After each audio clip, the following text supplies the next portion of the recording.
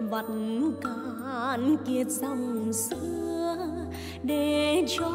con tươi cười.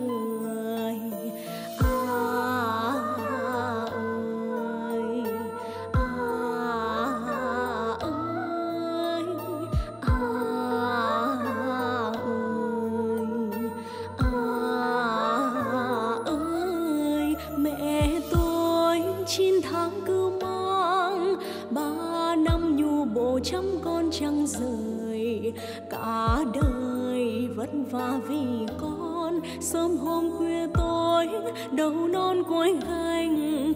gánh con, gánh cả tuổi thơ, nắng chiều ngờ